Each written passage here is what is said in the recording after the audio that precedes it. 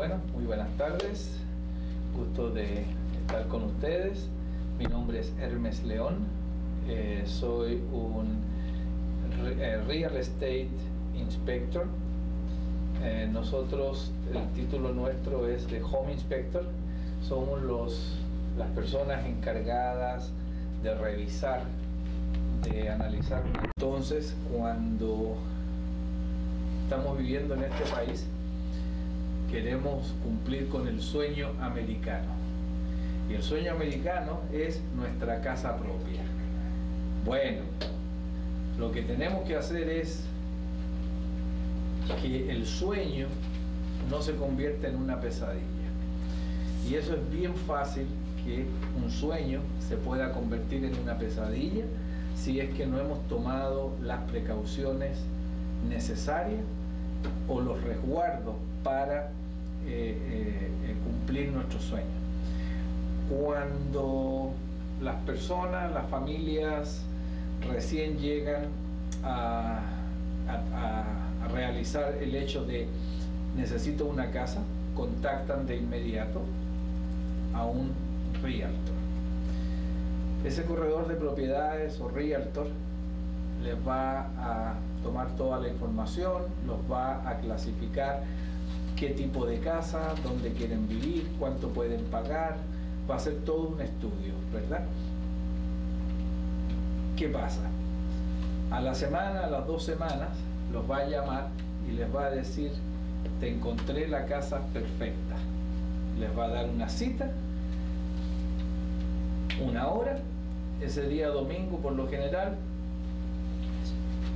van a ir ustedes a esa propiedad, y ahí va a estar el señor o la señora Realtor. Los va a hacer entrar a la casa. ¿Y qué es lo que nosotros podemos encontrar en esa casa? Bueno, de partida, la señora lo primero que va a hacer es ir corriendo a la cocina. Quiere ver la cocina de su casa. Si la cocina es del color que ella siempre le ha gustado, esa casa ya está vendida no va a mirar nada más en la casa porque ya esta es mi casa. El esposo, ¿qué va a hacer? Ni mira la cocina, va a entrar derechito a dónde? Al garage. ¿Para qué? Para ver si le va a entrar el carro, la, máquina de, de todo lo que tiene, si es del tamaño apropiado, esa es su casa. Como van a ir con los niños, los sobrinos, los tíos o alguien, los niños van a ir de inmediato a pelear quién se queda con el dormitorio más bonito. Van a estar ahí un buen rato y nadie les va a permitir a ustedes subirse al techo, entrar al ático de la, entrar al ático de la casa. No los van a dejar abrir la caja de los breakers de electricidad tampoco los van a dejar ni siquiera abrir muchas puertas o ventanas, porque no lo pueden hacer. Desde el momento en que el realtor les abrió la puerta, toda la gente que está en esa casa está bajo el liability, el seguro de ese realtor. Si alguien se accidenta, ese es el realtor el que va a estar en problemas. Por lo tanto, no los va a dejar tocar ni inspeccionar nada. Para eso es que está el Home Inspector. Para eso estamos nosotros. Entonces, em,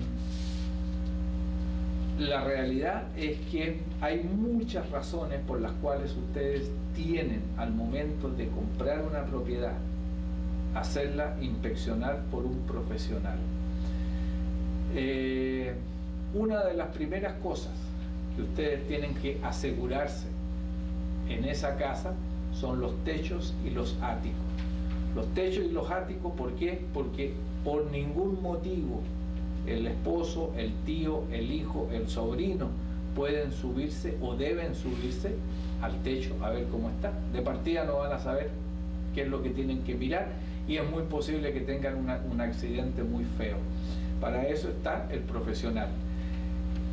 El inspector va a revisar todo en el techo de la casa, incluyendo chimeneas. que hay algunas casas acá que tienen chimeneas, aun cuando no se ocupen, pero son motivo de que hayan filtraciones de agua porque están defectuosas. Eh, hemos encontrado casos en los cuales en los techos se encuentran plantas y cactus. Eh, se encuentran plantas y cactus que eh, están ahí porque ha, habido, ha habido mucho, ¿cómo se llama?, tierra. Esas casas nunca se han limpiado. Entonces, eso significa que esa casa tiene problemas en el techo.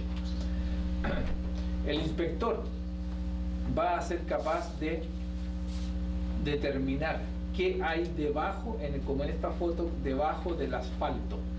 Eso significa que esa casa ha tenido eh, liqueos y todo lo que es madera ya se ha echado a perder. Lo que significa que ese techo hay que cambiarlo.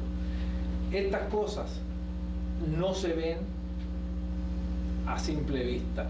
Estas cosas no se pueden determinar si no es un experto que se lo determine. Eh, incluso ha habido gente que nos dice, ¿y por qué voy a hacer una inspección si la casa es nueva?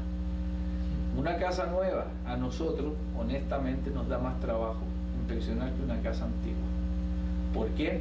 Porque la casa antigua, los defectos ya son notorios, se ve el efecto de un problema que ha ocurrido desde hace cinco años, cuatro años o tres años atrás.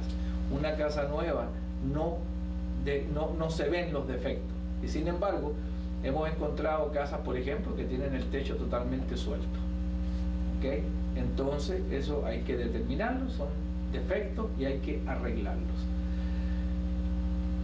Casas eh, un tipo de techo muy típico acá en Florida es el, es el techo plano, que es cubierto con asfalto. Esos ah, techos no se ven desde abajo, ni los van a dejar subirse a una escalera para llegar al segundo piso a mirar el techo, porque no se los pueden permitir. Si un realtor les permite hacer eso, le va a costar su licencia. Eh, nosotros sí vamos a subir a ese techo y como en este caso vamos a determinar que ese asfalto ya está obsoleto, está dañado y va a tener que ser reemplazado. ¿okay? Eh,